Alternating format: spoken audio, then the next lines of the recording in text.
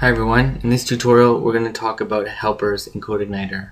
So we're on CodeIgniter site here, codeigniter.com slash user guide, and we can see on the right here is the helper reference. And basically what helpers are in CodeIgniter is some CodeIgniter specific functions that are going to help us to do something a lot faster than if we had to write the function ourselves. So helpers are there to save us time, so we definitely want to learn them. So let's take a look at them. And the first one we're going to talk about today is the array helper. So first of all, if we want to use a helper in our code, we have to load it in first. And there's a couple different ways to load it in. So the way I did here is I went to my home function and I typed this, load, and then helper function, and then I passed in which helper I wanted. Here I want the array helper. Okay, so just by doing this, I loaded in the array helper.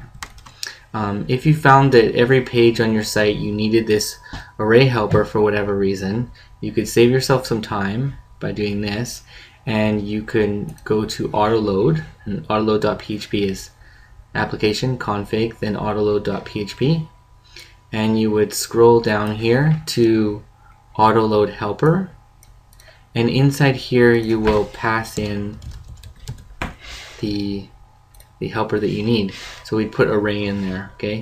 But in this case, I don't need to do that because I'm loading it into my controller, okay?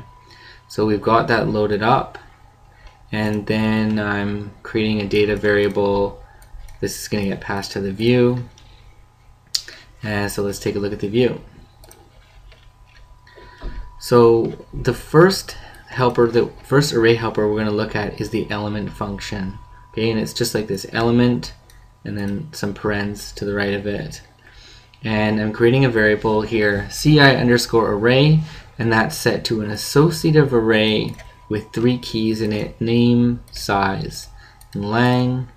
And what I'm doing here is I'm echoing out element. First parameter I'm passing in is the key that I'm looking for, which is this one. And what array am I looking in? Well, I'm looking in this array. Uh, that's the second parameter. And then we're echoing it out. So if it finds this key, it will return um, it will return its value, which is CodeIgniter, and then we're echoing that out. In the next example, we are um, doing the same thing, but with the URL key. Now the URL key is not present in this array. So what's going to happen, it, it's going to return null. And when we echo out the value null, it's, it's just going to echo out an empty string. Okay, so what you're going to see on this line is you're just going to see what I concatenated on here. You're not going to see the word null because that's an empty string anyways. And the last one down here is I'm using the element function again on the URL, which isn't there, in the CI array, but this time I'm setting a default value if it doesn't find anything. So in this case, instead of returning um, null, we're telling it to return the string not there. Let's take a look at that. And you can see it right here. So CodeIgniter, and we echoed out null here, nothing there, but we got this string that I concatenated on. And the last one we set a default value for something that wasn't there, so it's not there. The next, the next helper I think is the most useful one, in my opinion, and it's this random element function. Okay, so what I did here is I created a cards array. There's 9, 10, Jack, Queen, King, Ace, and what we're doing is we're just echoing out, we're running the random element on this card's variable and it's going to give us um, a random element. Let's see that in action. refresh here, okay, and we can see it's king. So it randomly took out one of the elements from it. If I refresh here, we're going to get different elements each time. Okay, so I thought that was pretty useful go back to the code. The next helper that we're going to look at is the elements helper. So let's take a look at that. So the first function that we looked at was element without an s. This one has an s on it, elements.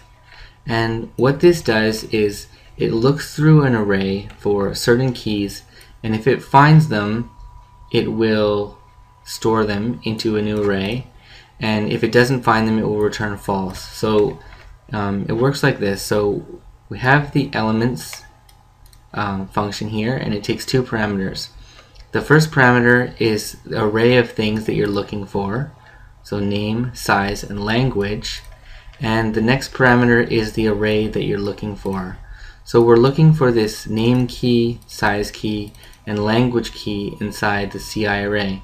Now remember the CI array, um, the last one was lang, it wasn't language. So this shouldn't exist in the array. So what's going to happen is it's going to run this function and it's going to return an array to new array. And inside new array, it's going to, um, this is going to return whatever's there this is going to return what's there. But this language is going to return false because there's no language key inside uh, this CI array. Okay, and we're going to print it out and let's um, let's take a look at that first. Let's comment this out.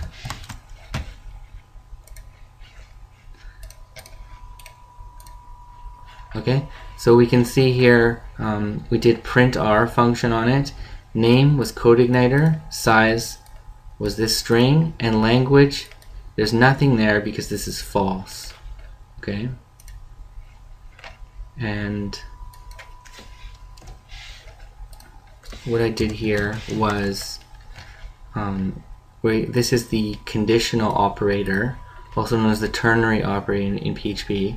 So we're saying this new the new array we're creating which is um, and then the language element of it if this returns true um, return this string return true if it's false then return this string return false and that gets returned to this value element here and then we're just echoing out whatever value is let's take a look at that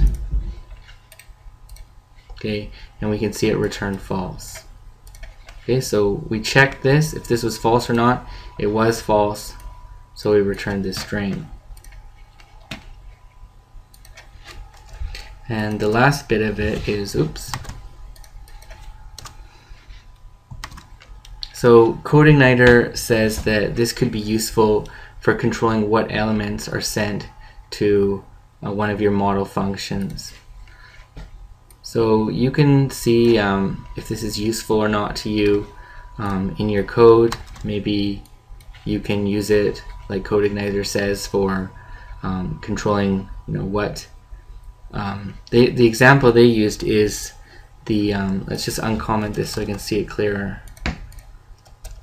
So for example, um, if you're loading in your model and it's called post model, well and you have this method in your post model which is update so you're set you're sending in um, you're controlling which which elements are sent from the post array. So the post array could have all sorts of different elements in it but you just want to send these three. That way you can control which elements were sent to your uh, sent to your model function. Okay thanks for watching